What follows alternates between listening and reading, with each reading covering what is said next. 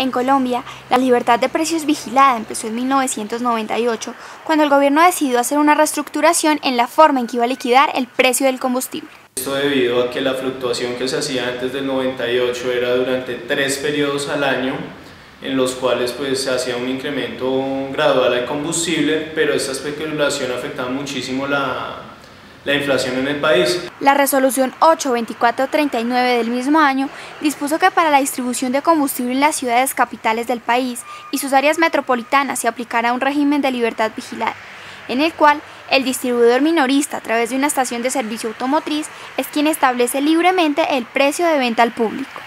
Este régimen buscaba que los distribuidores minoristas en un escenario de competencia obtuvieran remuneraciones estables para el desarrollo de su negocio, sin ir en detrimento del consumidor final. Pero esto no dio buen resultado. El Ministerio de Minas y Energía, luego de observar que el régimen vigilado no estaba generando una efectiva competencia en las estaciones de servicio y además algunas estaciones se aprovechaban económicamente, decidió adoptar el régimen de libertad regulada con la resolución 181047 del 2011. El Ministerio de Minas en alguna medida señala un precio de referencia que es un precio máximo de venta al público.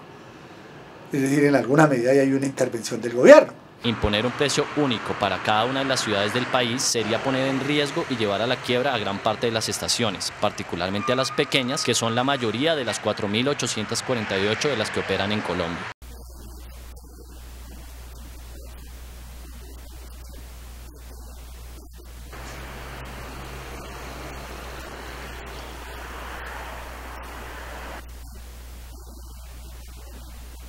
Uno de los problemas más graves que puede traer consigo el actual régimen es la escasez de la gasolina en la ciudad. Si continúa vigente el régimen, es posible que la calidad del servicio que se presta en las estaciones sea de mala calidad.